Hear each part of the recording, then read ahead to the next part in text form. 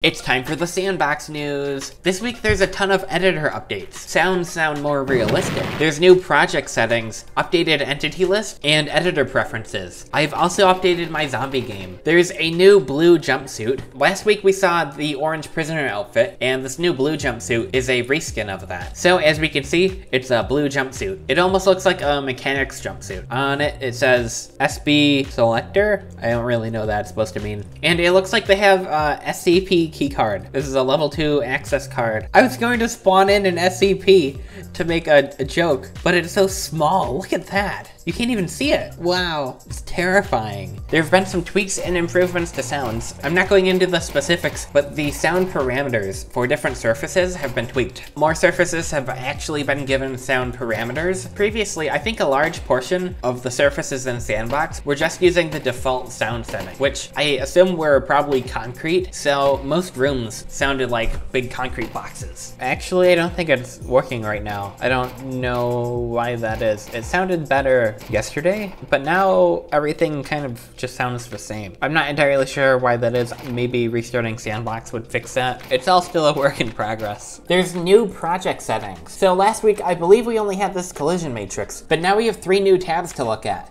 There's game setup, physics, and compiler. Under game setup, it looks like these are all the settings we've had before. This is now where you would change the max players, maps, networking type, and your leaderboards. In the physics tab, there's new settings for world, Rubikon, and advanced. So these are the default physics settings for props in your game. Here you can change the physics timescale, the gravity, including a gravity direction, and the air density. Now you could always change these settings in your game's code, and you can still do that. But now we have a nice spot to very clearly see all these settings and change the defaults if you don't want to code it. Rubikon is the physics engine that S&box currently uses. We can set the simulation mode to either be discrete or continuous. I don't know for sure, but I assume continuous would be default physics, and discrete would mean you would have to manually trigger each physics step. There are also advanced settings. Now, these are kind of a mystery. Uh, I'm not going to speculate on what they are. There's also compiler settings. Now, these are more super advanced settings. You're probably never going to need to touch these. You can also change the release mode. So I actually didn't know this was a thing, but apparently when you upload your game, it runs a more advanced and more optimized compile. So I assume your published game will run slightly better than the game when you're developing it. There's also new editor preferences. So currently it's just your default code editor, which I only have Visual Studio installed, so it's only showing me that option. However, there is also now support for VS Code and Rider. You can also change the default add-on location. Previously,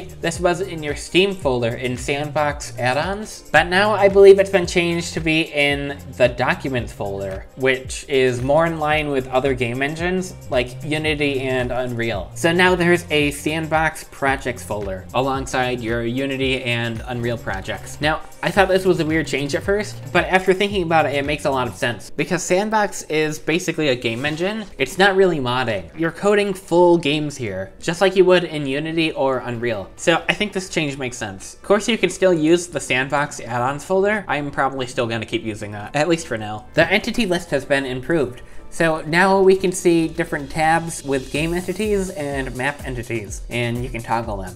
So on Construct, we can see there's almost 800 map entities, and they're all categorized. There's constraints. So these are for things like this metal gate here. It uses a physics hinge. There's destruction, which is for the breakable glass. There's effects, fog, gameplay, which includes all the props in the map. There's light entities, navigation, player spawn points, triggers, and then there's uncategorized. So don't really know these are, these are just mystery entities. We can also see all the game entities. So active pawn, this is a player, client, this is me, glass shards. So this is interesting. I guess the unbroken glass is considered a map entity, but the broken shards of glass are game entities. So this is a very neat change, very convenient instead of having one gigantic unorganized list. I updated my NPC zombie game a bit more. I made new skins for the zombies. Now you can see they have new glowing eyes. It's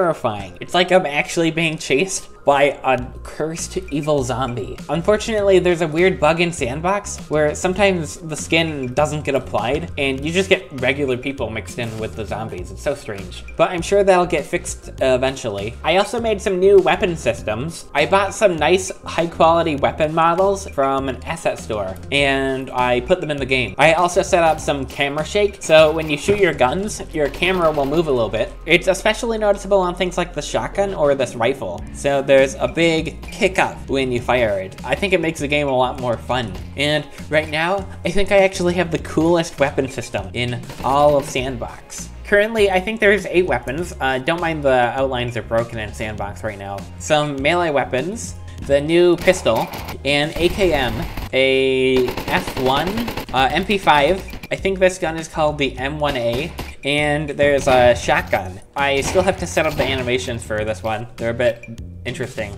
But this is very cool. A lot better than the old placeholder weapons that I had from Rust. Also, I think I have a couple more weapon models that I haven't ported in yet. I think there's a Magnum, a sniper rifle, and a couple others. So we'll see those in the future. I also made a very basic custom chat bar. So nothing special here. However, it does show your health color in your chat when you're talking.